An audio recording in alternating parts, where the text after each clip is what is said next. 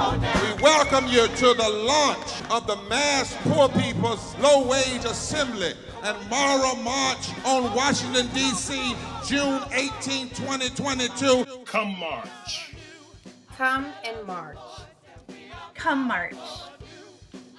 I'm marching. Come march. Come march. Come march. Come march. Come march. Come march. Come march. Come march, friends. Join us June 18th. Hello, disciples. This is your General Minister and President, Terri Hord Owens. It's so important that disciples of Christ across the church show up in a big way in Washington, D.C. on June 18th.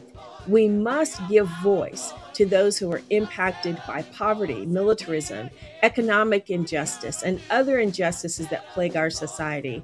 Unless we speak, their voices can't be heard. I hope you'll join me in Washington, D.C. to participate in the Moral Assembly led by our dear brother, Bishop William Barber. And we invite everyone to join Disciples for Worship on Sunday, June 19th, where I'll be preaching at National City Christian Church. Come join us. Forward together, not one step back.